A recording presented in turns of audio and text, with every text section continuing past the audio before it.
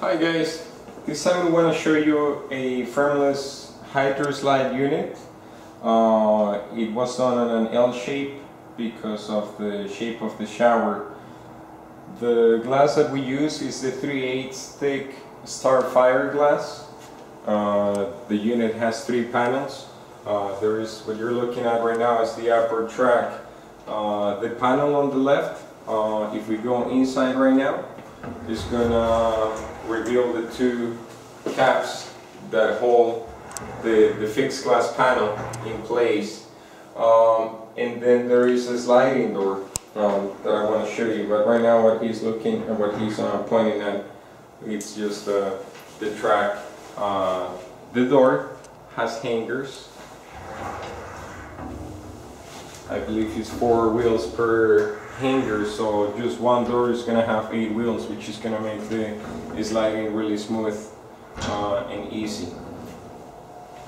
It slides all the way. Let me show you here. And uh, the same bar on the top has stoppers to prevent the glass from hitting the wall.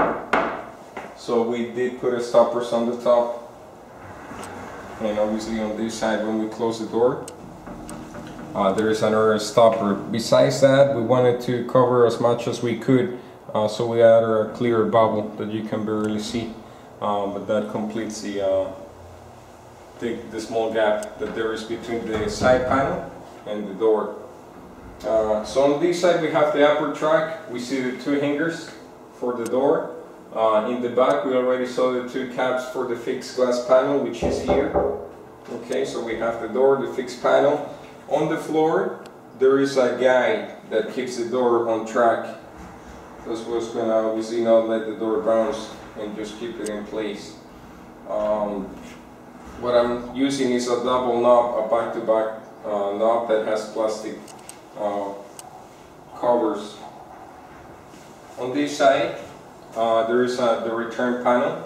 It has on the top the end cap that receives the, the upper track for the sliding.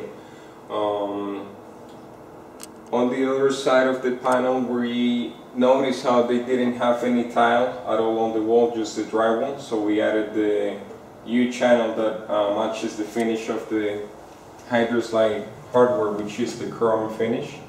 And from that point up, it's just a U-channel. The same panel has obviously clear silicone that is sealing the small gaps and it's uh, helping us hold the glass.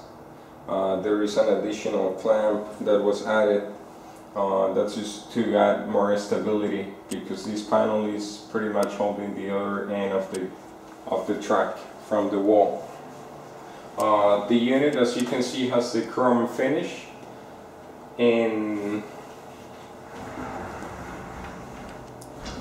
the glass was custom made so if we try to go really close to each side or the bottom of the glass, it's going to have the same shape as the wall, so we're never going to find uh, huge spots that have uh, that had to be filled out with uh, lots of silicone. So it's a custom job. It was uh, definitely made for this shower.